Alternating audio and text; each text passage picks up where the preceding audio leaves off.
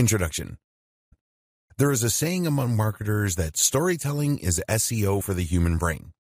Of course, when this saying was first coined, it had nothing to do with social media stories.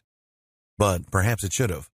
Social media stories, in fact, have huge potential to engage audiences, to build authority and trust, and to generally boost your brand. Not only that, but they're also gaining in popularity all the time. Social media stories took the internet by storm, and they're not showing any signs of slowing down now. In this training, you will learn precisely what a story is, how to create them, and how to have huge success using them to grow your audience and increase brand loyalty. Four out of five major brands report using stories to promote themselves, and that should tell you something about how big this is going to be going forward.